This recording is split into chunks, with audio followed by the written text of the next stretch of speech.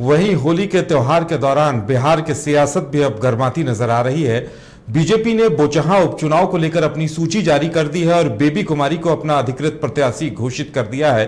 और अब ऐसे में सबकी नज़रें इस बात पर टिकी हुई है कि बोचहा सीट, जो वीआईपी मुकेश सहनी की पार्टी की सिटिंग सीट थी, उनका अब अगला कदम क्या होगा? उन्हें इंतज़ार इस बात का था कि बीजेपी क्या कुछ करती है। उन्होंने अपनी बात भी रखी थी कि ये वीआईपी की सिटिंग सीट है, इसलिए वीआईपी को चुनाव लड़ने का मौका मिलना चाहिए, लेकिन बीजेपी ने उनकी बात नहीं मानते हुए बेबी कुमारी को प्रत्याशी घोषित कर दिया है। आपको बता दें कि मुकेश सहनी की पार्टी वीआईपी अभी उत्तर प्रदेश में भी चुनाव में लड़ रही थी, जबकि वो बिहार में बीजेपी के साथ गठबंधन में थी। इसे लेकर बीजेपी के नेता मुकेश सहनी से नाराज़ थे और अब बीजेपी ने बोचहा सीट से प्रत्याशी उतारने की घोषणा कर दी है। तो अब ऐसे में हर किसी को इंतज़ार इस बात का है कि मुकेश सहनी का अगला कदम क्या होता है।